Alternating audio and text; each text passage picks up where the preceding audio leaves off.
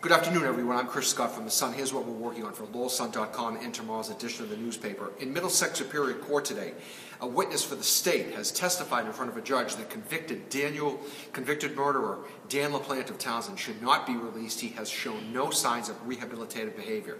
Mina Corpuz is reporting from the State House meeting with Dave Nangle, State Rep Dave Nangle, who's trying to breathe some new life into his bill that would allow cities and towns to tax nonprofits. We're also in Wilmington, where the school committee, already searching for a new superintendent, has got to now search for an interim superintendent because the interim superintendent is resigning due to health reasons. There's a lot going on. If you see anything happening out there, please let us know at news at lowellsun.com.